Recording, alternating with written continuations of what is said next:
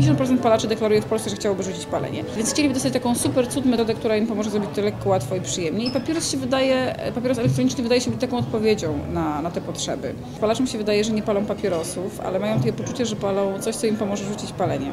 To jest taki produkt, który jest, e, który teoretycznie z założenia ma nie szkodzić, ponieważ e, używając tego produktu dostarcza się tylko nikotynę do organizmu, a nie dostarcza się tych wszystkich związków chemicznych, które powstają w normalnym papierosie w wyniku spalania, czyli 4000 związków chemicznych, które są w dymie tytoniowym.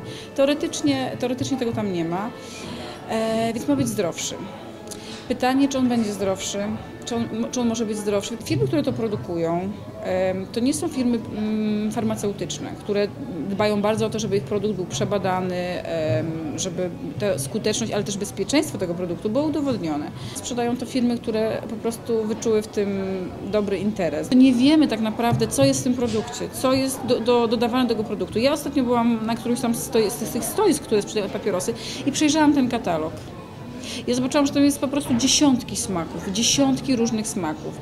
Żeby zrobić taki smak tego papierosa, to trzeba dodać różne e, substancje chemiczne. Jeżeli palimy, to jesteśmy uzależnieni od nikotyny. To jest po prostu przerzucanie się z jednej formy dostarczania sobie nikotyny na drugą formę dostarczania sobie nikotyny. Wszyscy mamy taką potrzebę, wszyscy ludzie, żeby zmienić się, zmienić rzeczy, które nie są dla nas dobre w sposób lekki, łatwy i przyjemny. I to jest właśnie odpowiedź na takie pragnienia palaczy, czyli żeby pozbyć się palenia tytoniu poprzez e-papierosa, który też dostarcza nikotynę, też jest przyjemny, imituje palenie, ale, y, no ale nie pomoże nam rzucić palenie. Nie pomoże nam rzucić palenie.